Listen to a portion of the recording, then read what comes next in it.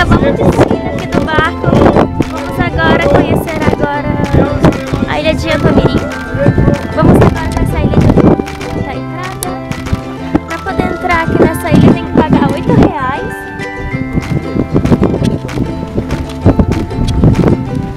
Olha o barco aqui, o barco do pirata. Nós vamos conhecer a fortaleza de Santa Cruz de Yantomirim.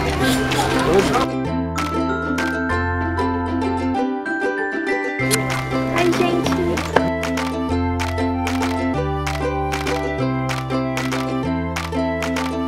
Vamos passar pela portada.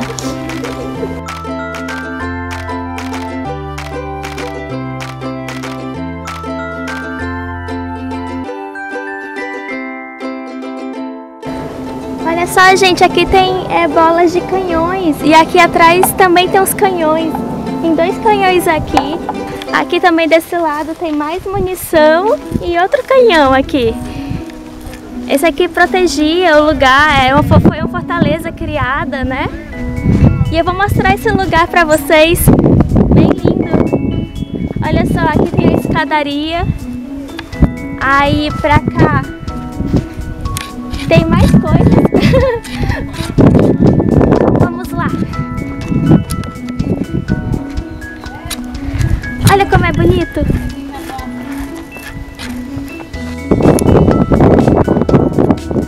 É, gente, nessa casa aqui ficava a casa do comandante. E nessa outra casa aqui também era uma casa dele que ele usava como se fosse tipo um hospital. Aí aqui tinha um médico e as pessoas ficavam ali nas casinhas lá embaixo para depois serem tratadas. Ah, e aqui também é, é a parte de cima de uma capelinha que tinha por aqui. Tô entrando aqui para ver como é aquela casa do comandante que fica na frente ali da onde ficava o médico. Vamos subir aqui.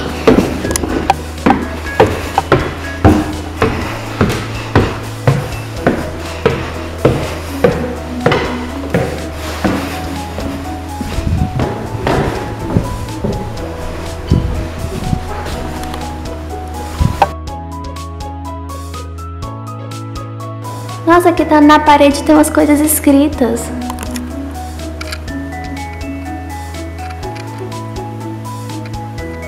Mil oitocentos e vinte e três. Olha o teto. Vamos agora explorar essa casa amarela.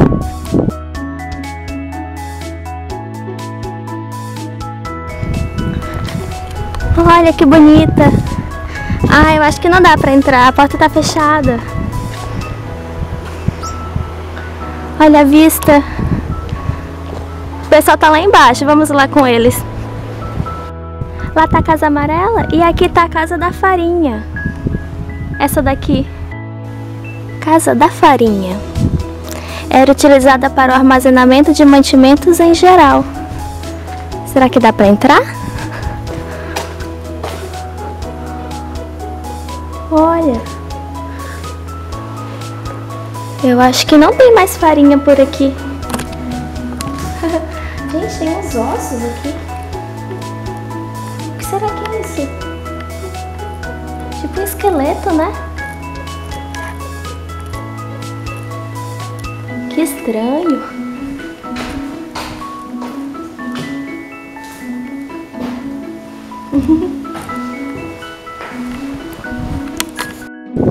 Essa daqui que é a casa da farinha que nós fomos.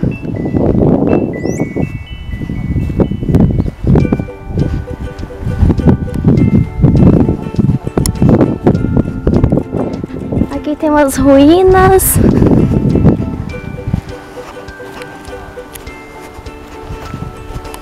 Ah, essa ruína aqui é um calabouço. Nessa parte inferior do quartel da tropa ficava o calabouço, lugar de prisão ou, como era comum, dos próprios soldados da fortaleza. Nossa, vamos dar uma olhadinha.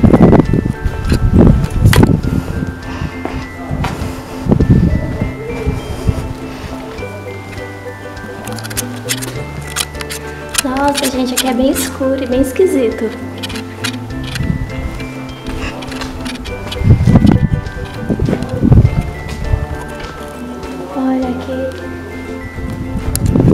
Que ruim aqui dentro. Bem fechado.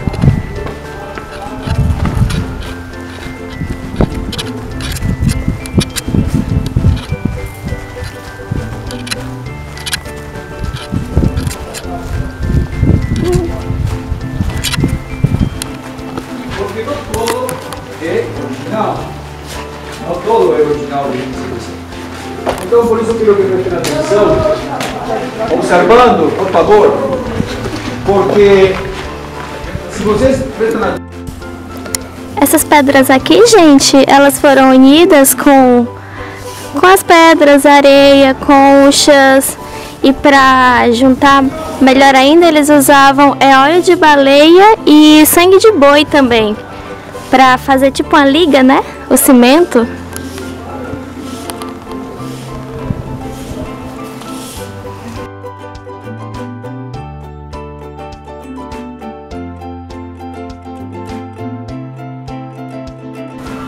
Olha só, gente, aqui atrás de mim é uma guarita, é onde ficavam os soldados, né, para proteger aqui a fortaleza.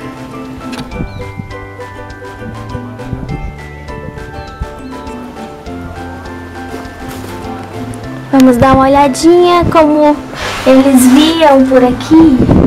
Olha que lindo!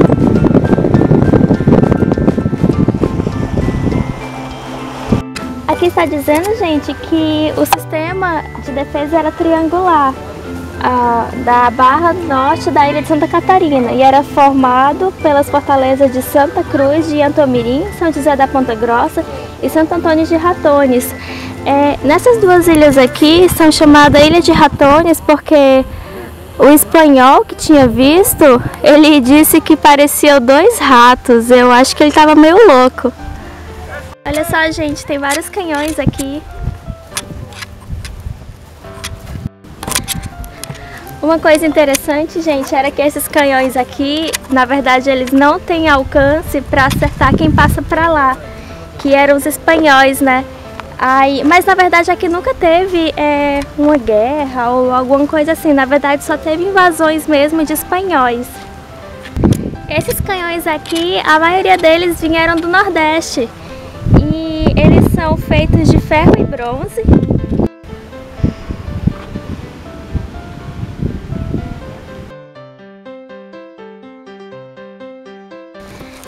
Gente, aqui na ilha de também tem capivaras. Eu tô correndo porque tá acabando o tempo aqui do passeio, mas eu tenho que mostrar pra vocês. Capivaras! Na ilha de. Que fofinhas. Estão bem de boa aqui. Pra lá tem o mar, a ilha de ratones. Que lindas.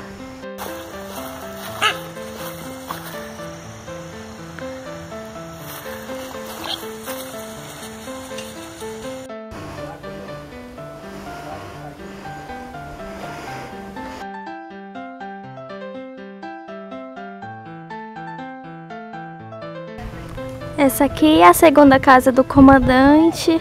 Aquela ali é a primeira casa. Aqui atrás de mim é o paiol de pólvora, que era onde guardava a munição.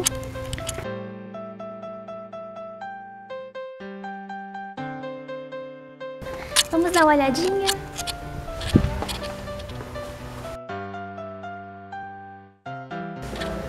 Olha só!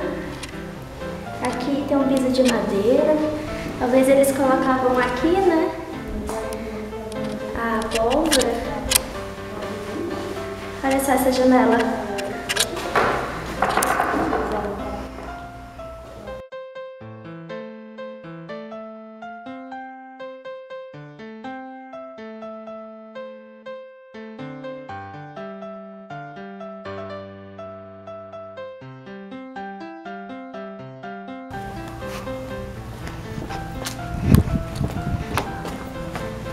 Estamos saindo agora aqui da ilha, vamos pegar o barco de volta.